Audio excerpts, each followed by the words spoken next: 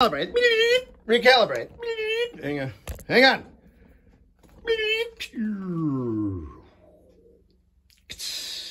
All right.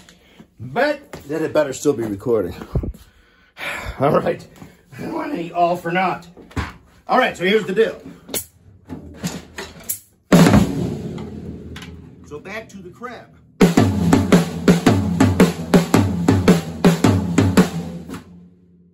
Sound familiar? Think about it again.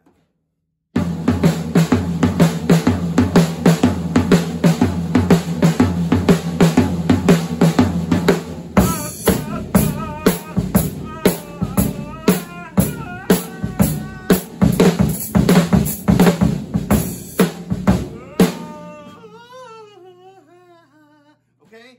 That's what you do on the drums right here. And then you can translate it into the feet. So again.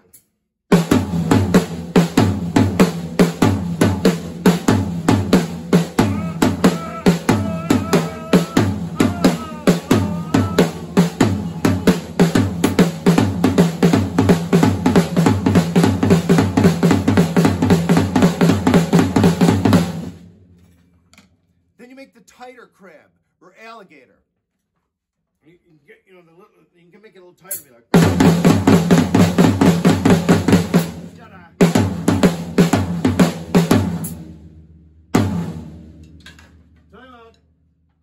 When we use an AI tuning system, it detects precisely when, what lug, sonically, in the what they call the 732 position on the drum.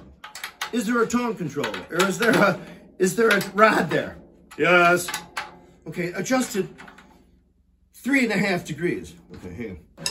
Hang on. No, no.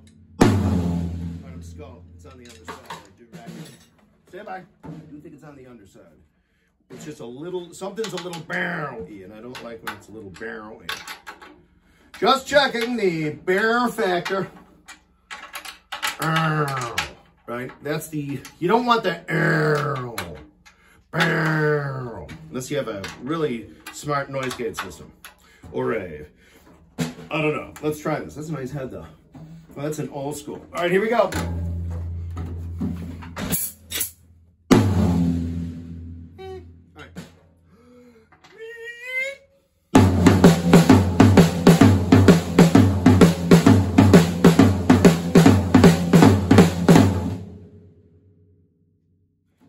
It as the crab, now goes to the tighter alligator. Then it comes in a compressor. I'm here, I'm out here, I get clear. The pattern almost becomes flammy.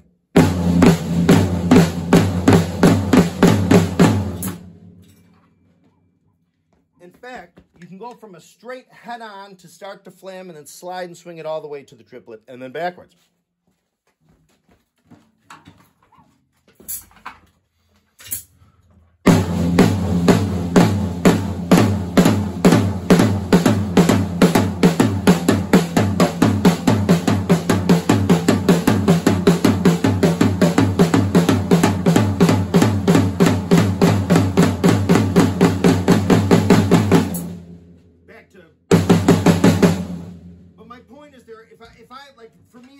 I could say that my left hand, I think my right hand might have dictated more the straight pulse than the left, I think should be the basis. For, I mean, I don't know. Maybe not, because you have to flam. Anyway.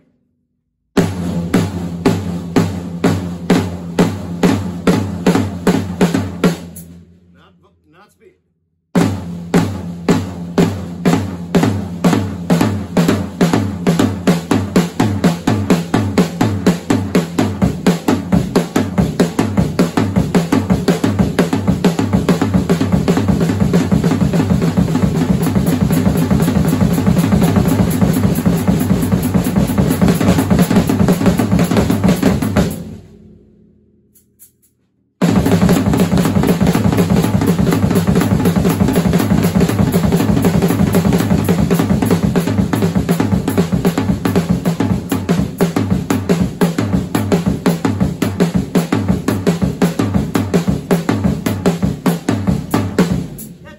on it, get a move on it, get, get a move on it, get a move on it.